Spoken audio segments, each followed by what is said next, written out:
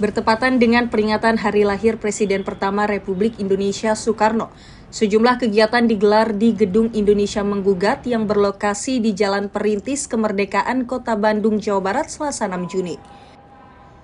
Mengambil tema Bulan Bung Karno, beragam agenda yang dilaksanakan mulai dari pembacaan monolog Indonesia Menggugat hingga pameran foto dan artefak peninggalan sang proklamator. Pada acara tersebut itu, masyarakat juga dapat memahami sejarah tentang Gedung Indonesia Menggugat, yang merupakan tempat Bung Karno diadili bersama para pejuang lainnya seperti Mas Kun, Gatot Mangkupraja, Supri Adinara, Sastro Molejoni, dan Sartono. Di gedung ini juga penyambung lidah rakyat itu memberontak dan menciptakan teks pembelaan dengan judul Indonesia Menggugat yang menggegerkan pemerintahan Belanda.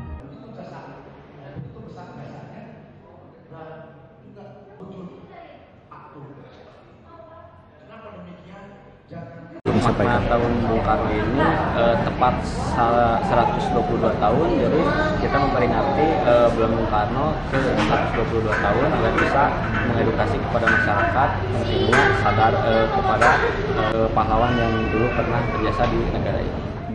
Seorang Bung Karno itu punya jasa yang luar biasa dan terutama di Bandung alangkah kurang bijaknya kalau di Bandung kalau masyarakat Bandung tidak memberikan penghargaan kepada seorang Bung Karno.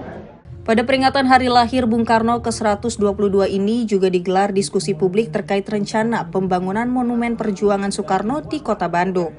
Monumen itu dinilai menjadi sesuatu yang patut dihadirkan sebagai bentuk penghargaan terhadap jasa-jasa putra Sang Fajar.